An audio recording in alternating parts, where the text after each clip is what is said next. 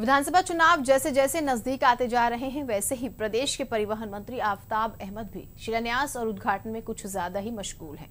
मेवात के नूर शहर में परिवहन मंत्री आफ्ताब अहमद ने सात करोड़ की लागत से बने ज़िले के दर्जन भर गाँवों को आपस में जोड़ने वाली सड़कों का शिलान्यास किया और पाँच करोड़ रुपए की लागत से बनी सब्ज़ी मंडी का भी उद्घाटन किया। उन्होंने ज़िले में हो रहे विकास का श्रेय प्रदेश के मुखिया यानी कि भूपेंद्र सिंह हुड्डा को दिया।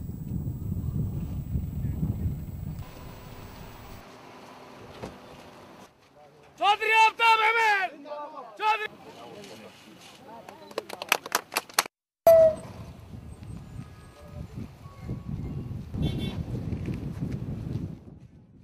जिला मुख्यालय हो गया नूह तो आधुनिक एक सब्ज़ी मंडी की ज़रूरत थी और ये पाँच करोड़ चौदह लाख की लागत से ये आधुनिक सब्ज़ी मंडी जो है, इसका आज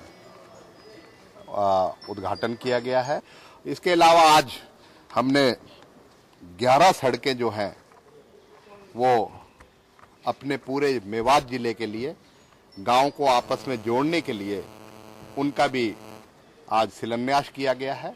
हमारे किसान भाइयों के लिए, हमारे ग्रामीण में जो रहते हैं, उनको एक दूसरे से जोड़ने के लिए, मंडी से जोड़ने के लिए ये कार्य किया गया है। अपने नुहवासियों के लिए, अपने किसान भाइयों को मैं मुबारकबाद देता हूँ कि एक ऐसा तोहफा चौधरी भूपेंद्र सिंह हुड्डा ने मुहैया कराया है जो आने वाले समय में किसानों के लिए यहाँ जो हमारे